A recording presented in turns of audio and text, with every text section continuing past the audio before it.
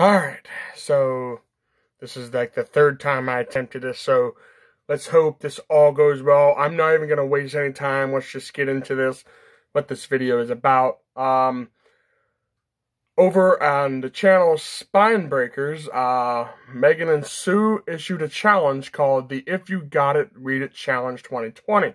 So that's what this video is going to be about. Um, I have my list up here facing towards me so I can see them. I got my books down here. You're propped up on my shelf. Again, just temporary until I get the location in my apartment that I actually want to film and I feel comfortable. And you can see my books behind me, not my kitchen, my wall, my wooden plaque here, a sign. Okay, okay, we're stalling. So, anyways, uh, there is, uh, I believe, 24 challenges here. So, let's not waste any time. Let's get into this, shall we? So, the first challenge is, is that to read a book that you've had on your TBR in the past. Now, I haven't had this book, uh, very long, but it's always been a book I've wanted to read ever since I read it in high school. Um, I, uh, I haven't read any of these books in years. So this this book here in years, and I've always wanted to uh, reread it, and that is Lord of the Flies by William Golding. Um, I read this back in high school. Don't really remember it that well, but I definitely want to reread this at some point. So the next book here is to read a book you've owned the longest and I really don't know what book I've had longer than others. I kind of lost track of that over the years. So this one is a book that I know I've had ever since before I moved out of my dad's house, um, which was like three or four years ago. And uh, this was a book that me and my wife both wanted to read, and we're actually going to read it together. So this is The Shack by uh, W.M. Paul Young. W.M. Paul Young. I think it's William Paul Young, but I could be wrong. Um, I've been meaning to read this. I've seen the movie. I really enjoyed the movie, but I wanted to read the book as well. So, definitely on the list. Uh, third one is read a book that is not a typical novel. Um, this one, I might be cheating a little bit. Shh, don't tell nobody. Um, Um, to be fair, I was planning on picking this up way before they issued the challenge, so this is not, uh, there's a couple on here that I don't have yet, but I want to read because I read the first book in the series and I really want to read the second one, and I don't want to read them this year, so that is the, the, to read, the, the book that I picked for the read a book that is not a typical novel is Night Shift by Stephen King. That is a short story collection, so that's not a typical novel, so anyway. Um, the next one is read your longest book. Ooh, um, my wife picked this one for my January reads, and I know I'm not going to get to it, so I'm going to get to it this year. And that is The Stand. This thing is huge, like almost four, almost 440 pages, almost. I forget, I looked at it earlier. I don't really have the time to look at it, so um, I'm going to put this right there. Hopefully it won't bother anybody. Um, the next one is read your shortest book. Now, like I said over here, um, I, I, keep in mind, if I said, like I said the, the last time, that's not what I meant. And not what I meant, so I did this three. Did I mention I did this three times? The same video three times, so anyway. Um, my shortest book is The Strange Case of Dr. Jekyll and Mr. Hyde. I've already read that one, so I really didn't want to pick that one. So I chose the second shortest book that I have, and it just happened to be War on Christmas by Edward Lorn. Now, I have a little bit of a. I counted it because I haven't really read that many books, and I just finished it like a week ago. And uh, this is, a, I think it's 110 pages. 108 pages. So, so I picked uh, The War on Christmas. I started reading this last month and I finished it this I finished this this month, so I'm counting it. I'm gonna call that the first. It's gonna be probably the first many cheats. So Megan and Sue, I'm sorry. Anyway, um, the next one is to read a sequel. I am picking Time of Contempt. I read the, the Time of Contempt by Andrei Sapkowski. This is the second novel in the Witcher series. Um, I have this novel, this book over here because I'm going to be referring to this box set at least a couple more times. Um, so yeah, um, that's the Rita sequel. Rita cover by, I picked Shakespeare's Rebels. I mean, that artwork, man, come on, just tell me you wouldn't buy this just because. I mean, that sword and with the uh, faces on it. I don't know how well you can see that. Hopefully you can see it all right. Um, that's that, sir. Anyway, um, I'm getting notifications and I'm not in the mood.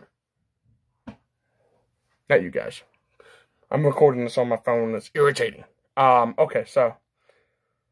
Um, next one is read a book you bought on a friend's recommendation. I picked up uh, Ready Player One because uh, a friend of mine from work, or he used to work there anyway, said this was really good and I should definitely read it. And uh, he said he never really read any books, but this was the one that he read and he really enjoyed. And he actually started reading more often after that. So, yeah, Ready Player One um, is bought is the is for the category read a book you bought on your friend's recommendation. Um, read a book that you, the next one is read a book you have read a book you have read a book with your favorite color on the cover. Oh my god, why was that so hard to get out? And so I picked um Midnight for Charlie Bone. I've been wanting to read this for years. I've had this for a while now, and I've always wanted to read it. I started reading it, stopped for some reason, and I mean, just look at that font. That's definitely, and I think something fell out of it, but just look at that font. It's not going to be a hard read, so I definitely want to check that one out. Um, so the next one is read a book from your most owned genre. Now, I don't. I have a the most, and I pretty much said the most of my favorite of the genre I have is fantasy, and I did not and sci-fi. So I basically just picked the one that I think I have the most of. I could have more sci-fi. I don't know, but I just picked fantasy because why not? So I picked this up. Uh, the Blade itself by Joe Abercrombie. Um, if you've ever read, uh, if you ever seen um, Holly Hart's books, I think it's called, her her channel is called. She raves about this, so I definitely I've always wanted to check this out. So this is a pretty big book, it's like 500 pages. So and it's really nice artwork, I have to say, and it feels feels really nice. Feels nice. Don't get creepy. Don't get creepy in the in, in the thing. Um, read a book you've had so long that you don't remember what it's about. Crap! I just had this out here. Um, I'm not gonna go grab it. It's uh, the Kite Runner by. Oh, I, I don't know how to pronounce his name. Um. Um. It, you I'll uh um I'll put it in the, I'll put all the books in the description below to let you guys know what I'm reading. So and I'll put the author's name down there. So there you go. Um so um the next one is uh read a book by one of your favorite authors. I don't really have a favorite author, so I just picked the one I have the most of, and I decided to pick The Shining by Stephen King. I tried to read this last week or this month and just failed miserably. So yeah, that's that. Um um okay, I'm trying to wrap this up fast so I don't want my thing to die. Um, where am I at now? Read a book by an author you never read. I picked The Bird Box by Josh Malerman. Hearing a lot of terrible things about it, but I want to check it out for myself. I also, I, and I borrowed this from the library, if you can tell by the sticker. I also borrowed the audiobook, so I'm going to have that a reading thing. Um, read your most recently purchased book. I picked Music of the Ghost by Vaddey Ratner. Um, I have both of her books now, so I'm actually really happy about that. So, yeah, um, definitely looking forward to checking this out. Read, uh, next one is read your most recently purchased book. That's a lot of words. Oh, I'm sorry. Read your most recently published book. I just said the most recently purchased. So the most recently published, I don't have any 2019s or 2020 books, so I had to pick this one. This is the The Last Dragon Princess by Cynthia Payne. Um, definitely looking forward to checking this out.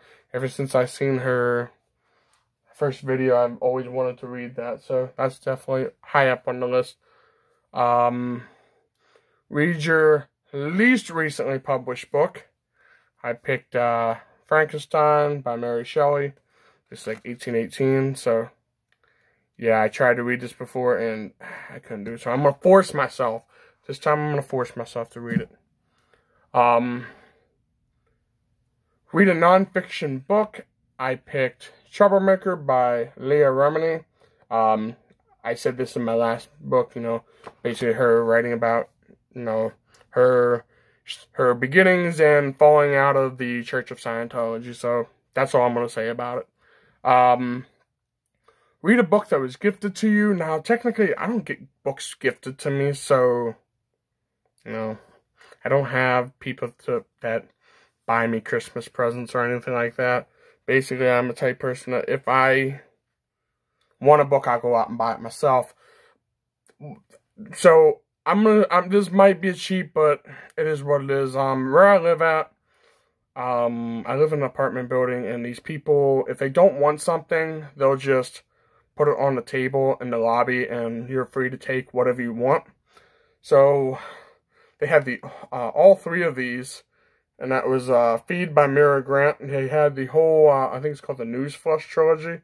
They had the whole Newsflesh trilogy down there. So that's gonna be my read that read that was gifted to me. Uh read a book that you meant to read last year. I picked the Hitchhiker's Guide to the Galaxy. I have a better copy of this because it's kind of. So this would be my reading copy. Um, I'm trying to pick it up here. Randomly choose a book on your TBR. I picked uh, Bay's End by Edward Lorn. Definitely want to read that.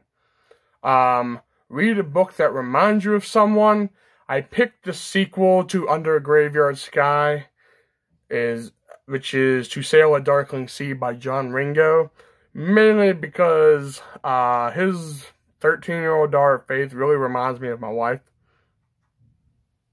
Seriously, like when I was reading it, I was picturing her face in this book because you know she's kind of a smart aleck and that's basically what I was putting her as. So there you go. Um, that's another one I have to buy. Um, so it's cheating. I'm sorry. I'm sorry. Um, read a book that you bought because of an online book community.